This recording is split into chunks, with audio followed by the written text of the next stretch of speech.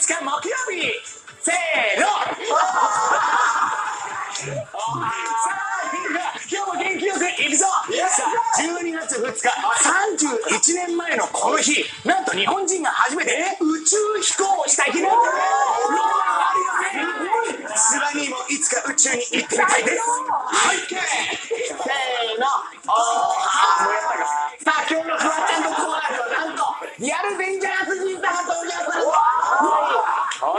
ーさんの何がデンジャラスなのかみんな楽しみにするなぶなんだ気になるねそ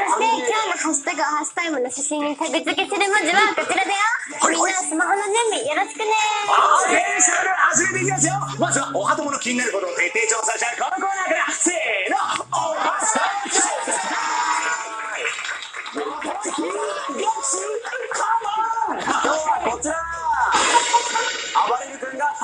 理さんまばたきはどれくらい我慢できるのスマホくれたハトマとつながってるよかいくんオーハーオーハ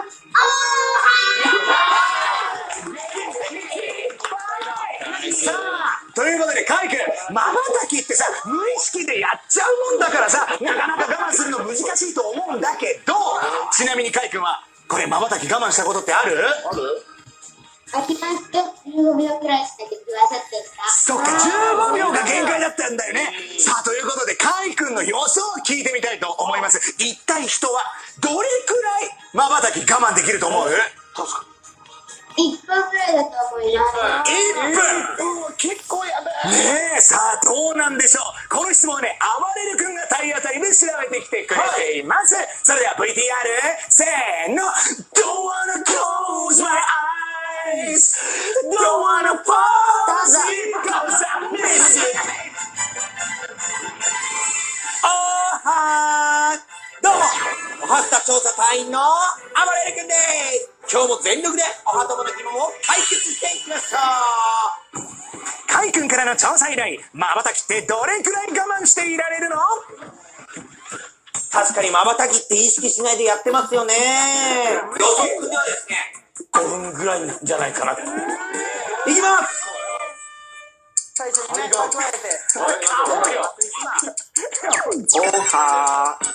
東邦大学病院の眼科の鳥です。まばたきには大きく2つの役割があります。1つは、えー、空気中から目に入ってくるゴミを。ごめんなさいまばたきを我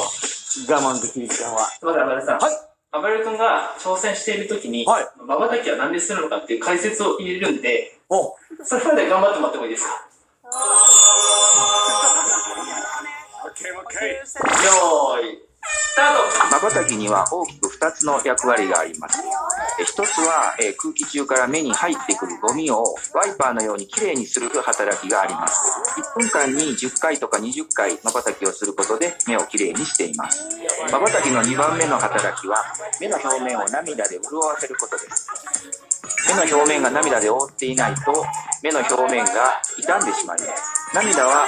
悲しい時やえー、痛い時に出るだけではなくてずっとまばたきのたびに涙が出て目の表面を潤わせていますあなんかやばい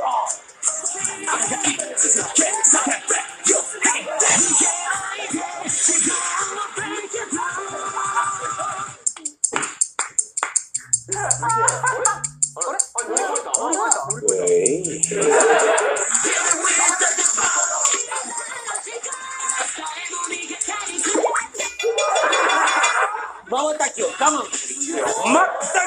ませんおはともちの君は思う存分まばたきしてくれよなさあ海軍あばれる君の限界は1分44秒だったねこれどうだった見てみてそんなにとは思いませんねえ結構思いのほか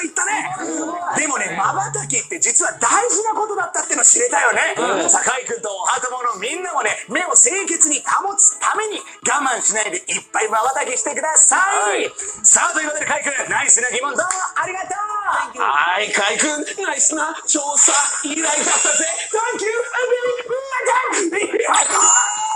いさあ続いてはおはとものみんなもう知ってるかな今話題の癒しキャラを紹介したいと思います SNS で話題沸騰中癒し系ハムスターが主役の漫画その名も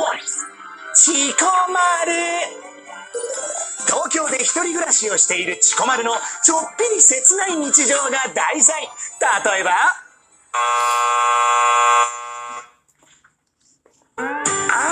ーお腹すいたラーメン食べようっと早く3分経たないかなワクワクよし3分経った蓋を取ってっとあ奥に入ってたから気づかなかった今や漫画だけにとどまらずグッズも大人気期間限定でショップも開設するほどにそのちこまでの漫画がついにコミックスになって登場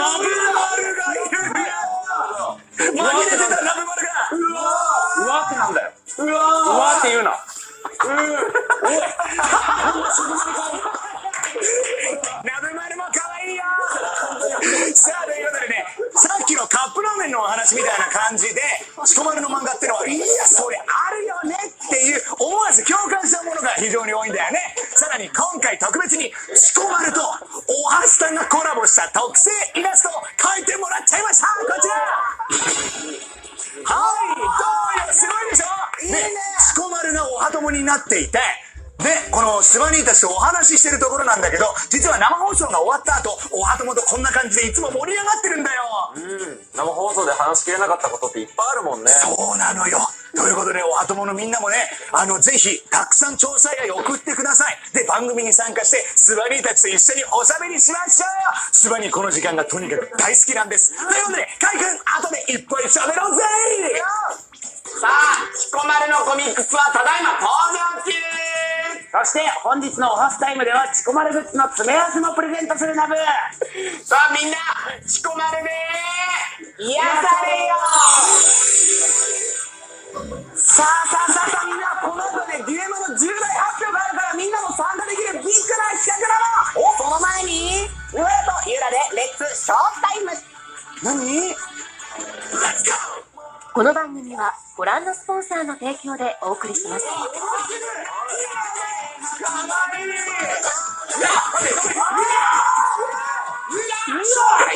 図鑑王者小学館の図鑑レオから進化鉄道が登場おお出発迫力満点かっこいい知れば知るほど面白い小学館の図鑑レオ鉄道発売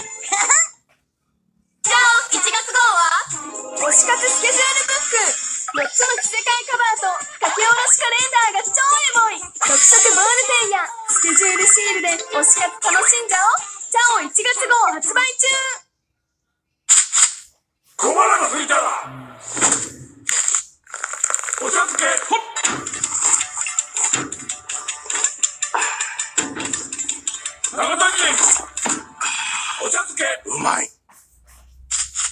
卵ご飯にチャーハンの素ガッ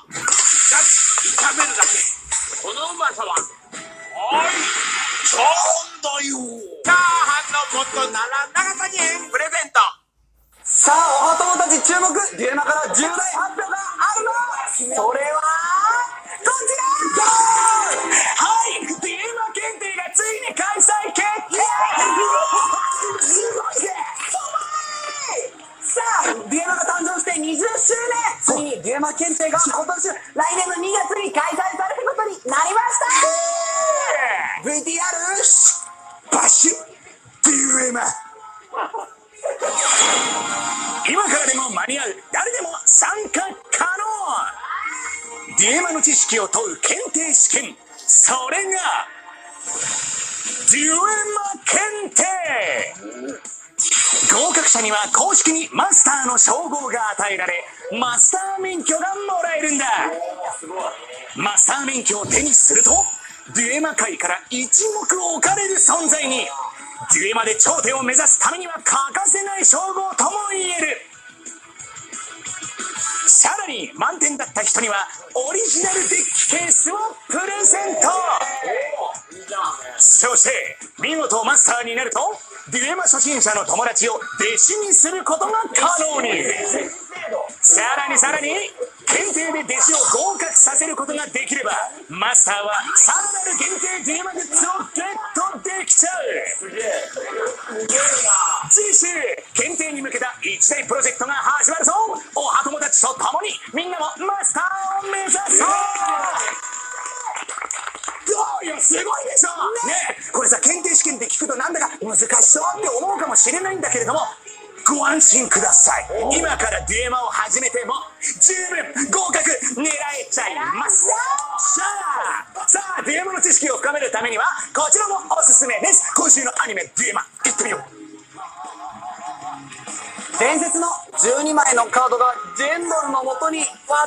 しまった次回デュエルマスターズキング囚われし12人復活の儀式を食い止めろ続いてはデンジャラスじいさん大好きフワちゃんのコーナー今週はリアルデンジャラスじいさんが出てくるナブええー、うわってなんだ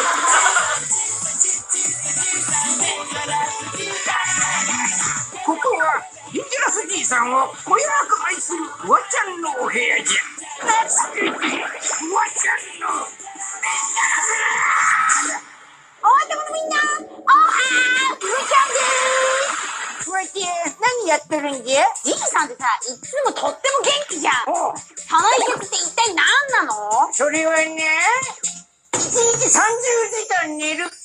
夢を見ることじゃ。ねえ、ちゃんと考えてよ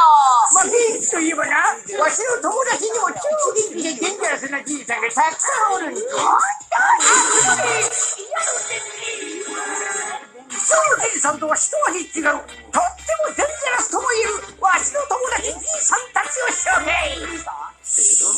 今回紹介するわしの友達は、どこ行ってきたの掃除をしているじいさん。金沢俊介さん85歳この金沢さん実はとっちもデンジャラスなんやろ綺麗好きなだけでデンジャラスなの三二一えー、えー、えゴルギーさん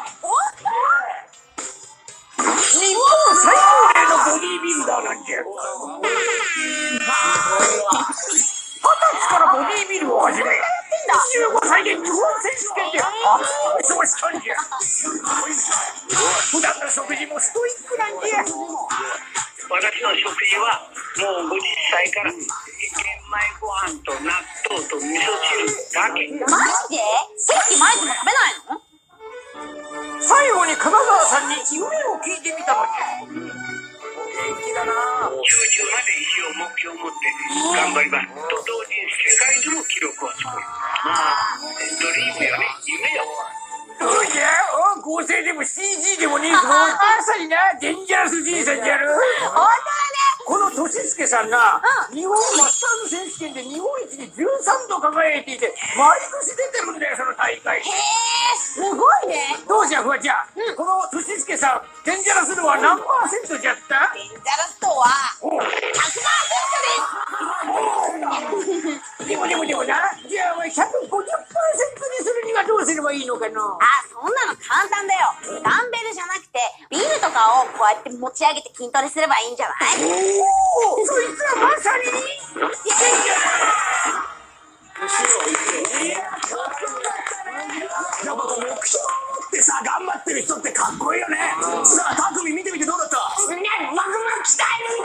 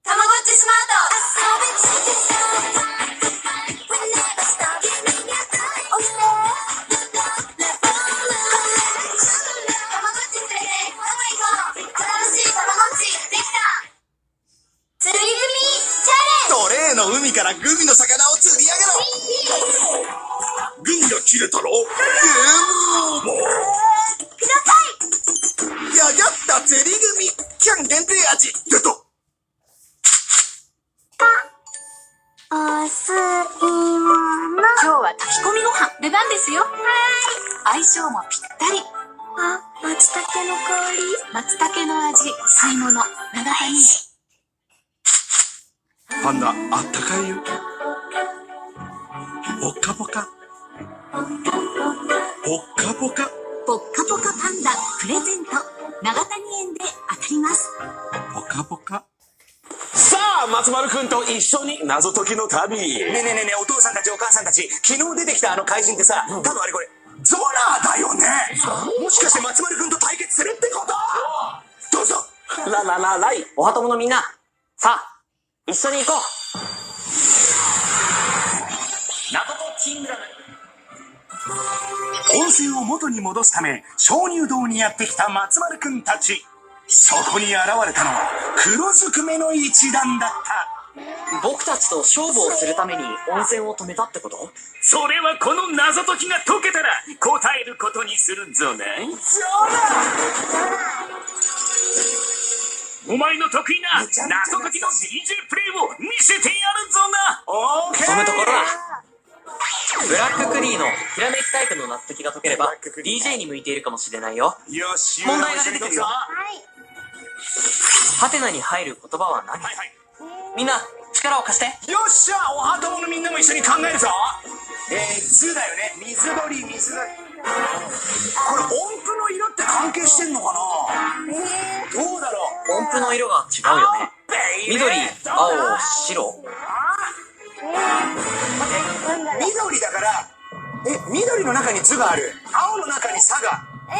え白さあ選択の時だみんなの答えが揃ったね音符の丸の部分に色の名前を1文字ずつ入れようハテナが表す言葉は進路だよ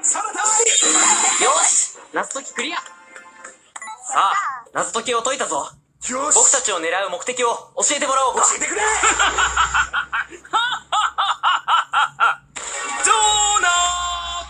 私の名は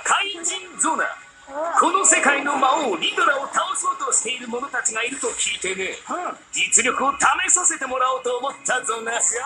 んだってなんと謎の一団の正体は怪人ゾナーだった一体どうなってしまうのか